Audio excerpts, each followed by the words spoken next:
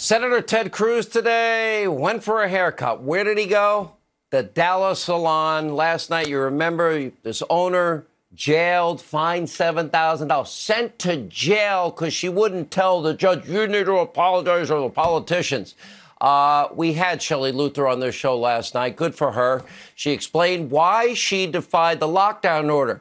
Oh, she would rather uh, take care of her children and let people that work for her uh, feed their families, and that's not selfish. How dare that judge call her selfish? Take a look.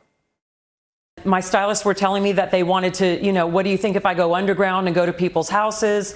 And I just said, you know, that's not a good idea because we can't control the environment there. We, we don't know if it's been disinfected or anything like that. And I just decided I would open to create a safe place for the stylists and uh, to make sure that I wasn't the reason they weren't making money. Senator Ted Cruz was one of the first people to raise awareness when Shelley was thrown in jail. I also got to credit the governor, lieutenant governor, the AG of Texas. All across the country, states are now beginning to reopen. I'm confident it can be done and done safely. Why? Because I'm in the middle of this crap the whole entire time. And I'd go to the store every weekend and I saw these guys stocking the shelves. And if it wasn't for them, New York would have starved. None of them got sick. I talk to them every week. The people that made the medical equipment that kept New York alive, they worked every day. They never shut down. And by the way, at bigger venues, okay, I want to open stadiums. How about temperature checks? You have a high temperature, you get pulled aside, and you say, we'll give you tickets to another game. Increase screening process. Uh, let people at stadiums wear masks. Look at this turnstile. It takes people's body temperature. You just walk right through. Boom, boom, boom. You, big crowds, not a problem. As they enter an arena or a stadium, the key is to be safe. Take the precautions, use common sense. I say, if I have to wear the mask, I'll wear it.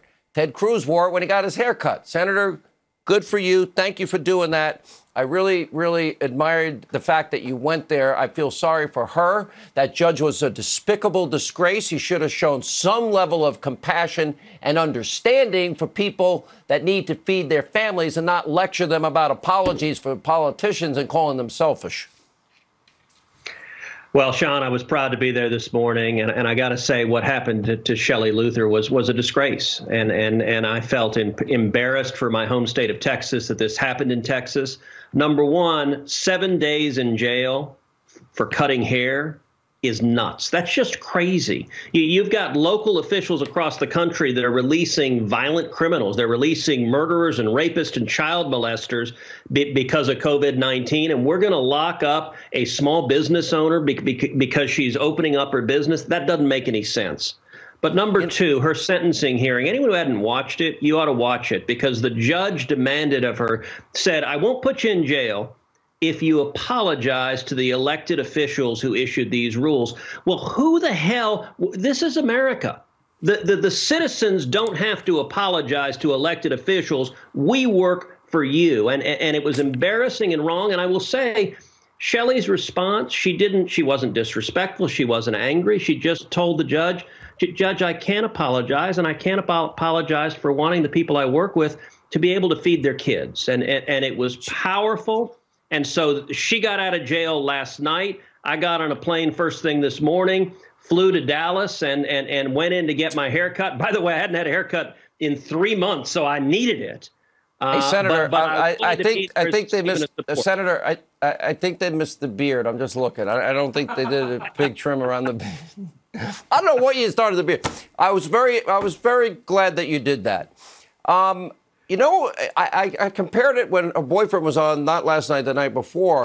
Nice guy. They're both nice. Yep.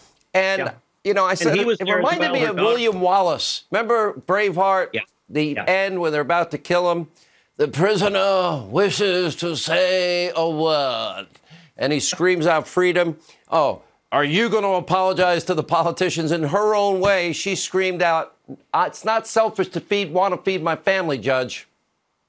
Sean, in some of the the toughest battles in the Senate, when conservatives were outnumbered and beleaguered, Mike Lee, my, my good friend, has texted me that clip from Braveheart of William Wallace just yelling, Freedom!